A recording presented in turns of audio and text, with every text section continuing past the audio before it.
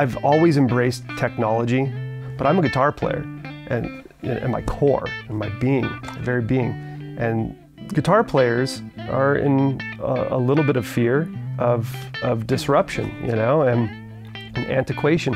You got all this big bulky analog stuff, and, and then you got guys who are carrying around a keyboard in their backpack with a laptop and making incredible music right now. I feel like I'm right in the middle there.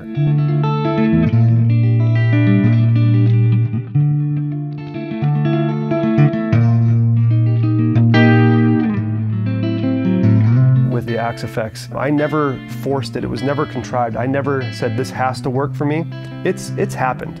I mean, I don't think I have a wizard's ear, but I'm a pretty discerning motherfucker, and I can't tell the difference anymore. I just can't tell the difference. But that's not what matters. Being able to shape any sort of sound that you want, manipulate any sort of sound, create any tonal expression that you so desire, that's, that's the main thing. Painting whatever you want on your proverbial canvas.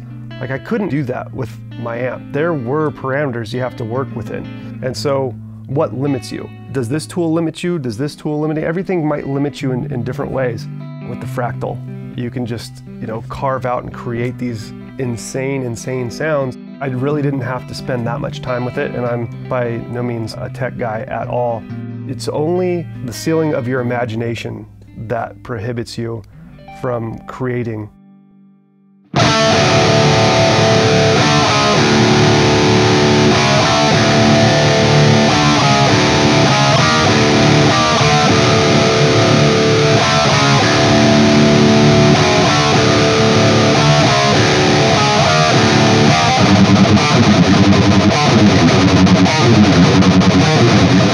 touring the Axe-Fx, it's a godsend. I mean, if you've toured or you've gigged at all, you know the extreme importance of durability because it's completely Murphy's Law out there. What can go wrong will go wrong.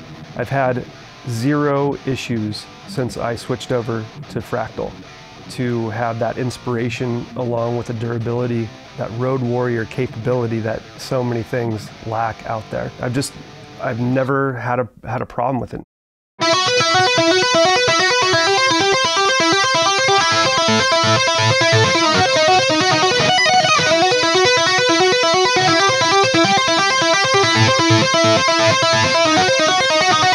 You know, we're so lucky to be headlining in front of, you know, 50 to 100,000 people on any given night. The sound coming into your in-ears, which is usually super stale, making it a nightmare for people to play on stage. It's like, well, this doesn't sound like when I'm, you know, five feet away from my amp. Well, to have a nicely shaped, polished, comfortable tone on stage. You just go on stage and you play. The Axe-Fx is, is seamless. I mean, the transitions are absolutely beautiful. So your solo tone with delays and certain little, little touches of modulation or back to a clean or back to this, can all be automated, like on a dime. And you don't need to have a bunch of money to do that, you know? Let's say you're doing a gig at some restaurant or whatever, but you're pay, playing to some backing tracks and you have that laptop computer there anyway, you can put in these changes so I don't have to do any tap dancing on stage, which is absolutely brilliant. So in a live setting, it takes the thinking out of it, it takes the manual intensive labor out of it.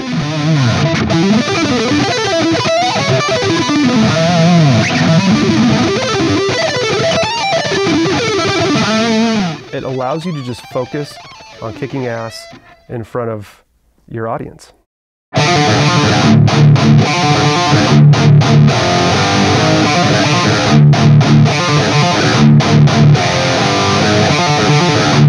The future is very, very bright right now with the fractal in our clutches.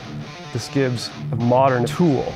I mean, tool is such a small word for what the, the Axe-Fx is to me, but gives you this tool, this entity, this huge piece of power to create with, to continue the legacy of guitar with, and bring that into the, the new horizon and the new frontier.